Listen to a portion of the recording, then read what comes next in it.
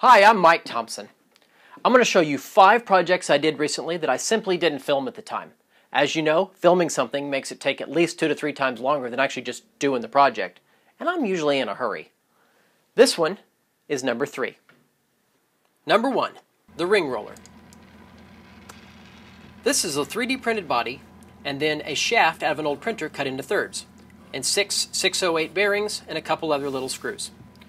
It can go from about 5 inches down to nothing, and I use this to roll all sorts of things. By putting some 608 bearings on the shafts, I can increase the shaft diameter and then also roll tighter rings. This is some steel strapping here that I used for a project that you'll see here that's number 5, I believe. Tightening these bolts down makes the ring tighter. I can just push and pull the metal through on this roller, and you can see it getting tighter and tighter. Now, not just rolling rings, this thing can also be used to flatten stuff too. I used it to flatten these drip edge pieces for, to support these lights in the valley this year. That worked out really well. And of course, the shafts can be removed when you want to remove your ring. But for a ring like this, you can just unsnap it and it holds its shape. Just like so. How about that? 3D prints. Number two, the O-ring runout. If you remember from my sander project, it had quite a bit of runout because the wood that the sanding uh, disc mounts to isn't flat.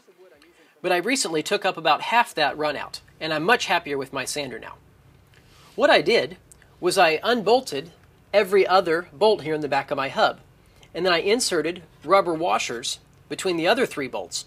These act as springs and push the wood away from the hub. But now I have three points of contact, and three points define a plane. And so, by torquing these uh, bolts down to different amounts, I was able to take out about half this runout. And this out worked really well. Hopefully, this will inspire you uh, for one of your solutions to one of your problems. Number three, the screw box. I have lots of one pound boxes of screws, more than I even have here. But I made this little holder out of 1 8 inch Baltic birch, and it's supported by a single screw here in the wall on a little key slot. There's even a little tray at the top for miscellaneous things. I bandsawed out some finger holes so that you can easily get each box. And you can see they come out very easily. I used some spacers for each of these shelves so I didn't have to measure them. The spacers were slightly taller than each box. Number four, the temporary truck rack. Recently I had to move some metal that was way longer than my truck. The front part of the metal, well actually the front third, sat on the cab, but this back end had to be supported. And so a couple 2x2s and some plywood here allowed me to make this little temporary rack. This has a small base screwed to the bottom, and then this gets secured against the side of the bed with some straps. And then, of course, your load, the back end of the load, sits on this crossbar and then gets lashed to the vertical bar and the crossbar during transport. Now, the genius here, though, are my three equally spaced holes in my plywood uh, gusset here. And the trick is to hit this third hole just right and then you move it down as if you're making a, if you ever made box joints on a table saw, this is like using a box joint jig where you have the indexing pin. And look at that, a perfect hole. So now I take these out, move it down, and then drill that third hole again.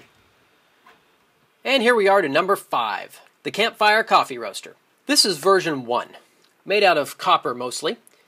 That copper shaft that holds everything together was actually split in two, and then that's what supports the steel mesh over on the left. Those rings that I rolled give the mesh uh, cylindrical form, otherwise it could just crumble in anything else. And then you can see that the mesh was screwed in four places on each side, and the split copper there also serves as paddles to create the, the tumbling action. Problem with this one was that it got so hot inside this little tent that my friend made, the solder that joins the mesh to the copper actually melted. And this is quarter inch mesh, which apparently was a little bit too big for some of his coffee beans, and they fell through. So it was back to the drawing board. But it all pivots here in this central T that I bored out with a 5 8 inch drill bit. Version 2 here, you can see, there's a small copper fitting that I embedded into a drilled hole there in that paver. And then this whole thing gets secured with a cotter pin down into the base. Here you can see the door on the left side just secured with some pins. But the difference here is that the back end of that mesh is secured with solder once again, but it's made pretty with that little uh, galvanized steel cone. I use my cone calculator spreadsheet for that. Now version 3 was totally different. because the solder simply was not holding on version 2. This was a mesh holder for kitchen utensils. Here it is over our simulated fire on a pole in the living room to show you how this works. It can go in and out, and it rotates here around this bored out T-fitting at the top.